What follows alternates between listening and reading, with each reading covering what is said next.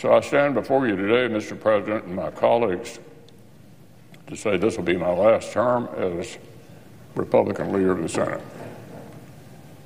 I'm not going anywhere anytime soon. However, I'll complete my job my colleagues have given me until we select a new leader in November and they take the helm next January. I'll finish the job the people of Kentucky hired me to do as well, albeit from a different seat. And I'm actually looking forward to that. So it's time for me to think about another season. I love the Senate. It's been my life. There may be more distinguished members of this body throughout our history, but I doubt there were any with any more admiration for the Senate. After all this time, I still get a thrill walking into the Capitol, and especially on this venerable floor, knowing that we, each of us, have the honor to represent our states and do the important work of our country.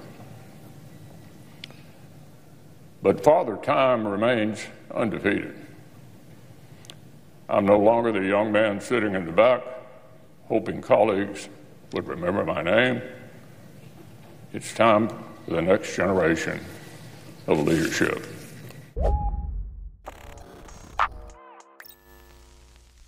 So sad.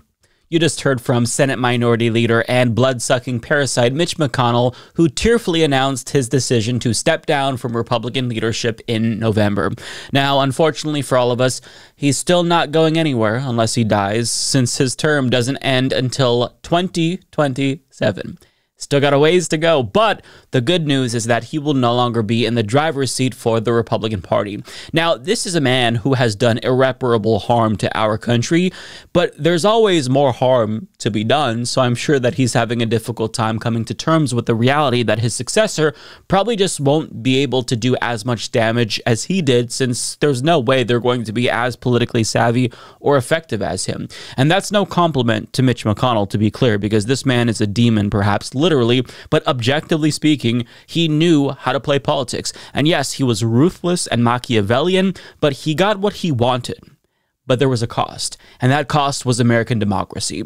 Now, I'm going to play a video from Now This. This is a little bit old, but former Labor Secretary Robert Reich kind of gives us a concise breakdown of just some of the things that this man managed to accomplish in his tenure as GOP leader. No person has done more in living memory to undermine the functioning of the U.S. government than the Senate Majority Leader Mitch McConnell. Yes, Donald Trump has debased and defiled the presidency, but McConnell is actively and willfully destroying the Senate. He cares only about winning. On the eve of the 2010 midterm elections, he famously declared that his top priority was for Barack Obama to be a one term president. Between 2009 and 2013, McConnell's Senate Republicans blocked 79 Obama nominees. In the entire history of the United States until that point, only 68 presidential nominees have been blocked. Once back in control of the Senate, McConnell buried Obama's nomination of Merrick Garland for the Supreme Court by refusing even to hold hearings. And then in 2017, McConnell and his Republicans changed the rules again, ending the use of the filibuster for Supreme Court nominees and clearing the way for Senate confirmation of Trump's Neil Gorsuch and Brett Kavanaugh. And in 2019, he used his Republican majority to cut the time for debating Trump's court appointees from 30 hours to two thereby enabling Republicans to ram through even more Trump judges. Step by step, McConnell has sacrificed the Senate as an institution to partisan political victories. Now, again, the video's a bit older, so Secretary Reich didn't get to the part where McConnell conveniently decided that confirming Supreme Court appointments during an election year was good after Ruth Bader Ginsburg died, even though he said the opposite four years prior after Scalia died. And that not only maintained the conservative majority on the Supreme Court when it was on the cusp of switching to a liberal majority, it led to a conservative supermajority. He did that. And without his obstruction, Roe v. Wade would not have been able to be, be, overturned.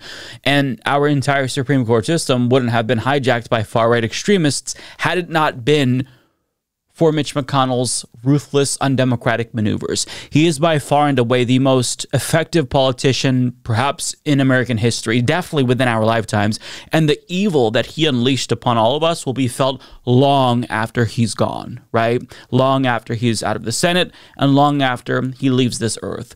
But as he announced his retirement, Good riddance started to trend on Twitter with thousands of people vocalizing how much they fucking despise this man.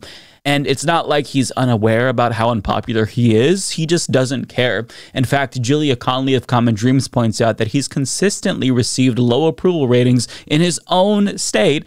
And on top of that, he's been one of the least popular senators nationally, too. So basically, almost everyone in America hates Mitch McConnell. And for most reasonable, sane Americans, this news of his retirement is very good news because even though it's entirely conceivable that someone with worse politics than him could take the reins after he's gone, it is inconceivable to me that his successor will even be half as effective at actually implementing the Republican Party's evil agenda as he was. So one would think that conservatives, in theory, would be really upset at this news, right? They think, oh my God, we have this pusher of evil no longer on our side after November, and that's uh, that's kind of scary. But except a lot of conservatives, namely Trump supporters, were actually participating in the left and liberal celebrations of his announcement and they were shitting on him. For example, a fairly large pro Trump account on Twitter tweeted, Good riddance, traitor, with a video of Joe Biden calling Mitch McConnell a friend. And other Trump supporters shared the same video, echoing the traitor claim by calling him a backstabbing rat who spits on voter interests. Now, he's technically right, albeit for the wrong reasons. When he says that Mitch McConnell spit on voter interests, what he means is that Mitch McConnell didn't always listen to Trump 100% of the time.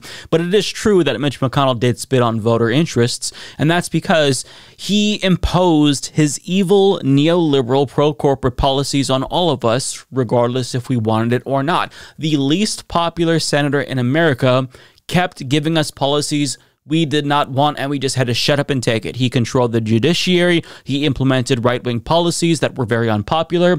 But I mean, if you're on Team Red, it's a bit odd that you're against him doing what you say you want. And this is why it's truly hard to fathom that the next GOP leader will be as effective as Mitch McConnell because Mitch McConnell I think the thing that makes him effective for Republicans is the fact that he ignores the tactical stupidity of Trump supporters and he actually tries to deliver policies that they say they want, even if they hate him for doing it or not going far enough. So I don't think that they realize how much more difficult it's going to be for them to accomplish all of the evil shit that they want Republicans to accomplish without someone like Mitch McConnell in power. But in the end, this is still good news. And as Mitch McConnell said, Father Time remains undefeated. And I have no doubt that he'd remain in leadership for another 100 years if he could. But I mean, he's 82 years old, and by the time his term is over in 2027, he'll be 85 years old. And he's already decomposing before our very eyes, so, you know, he didn't really have much of a choice here. But I'm still happy that he delivered us this good news because his departure from politics entirely can't come soon enough. I'm gonna come. Ah, ah, ah. Do not come. come.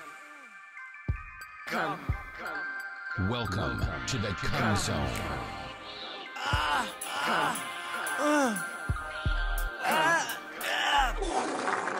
come.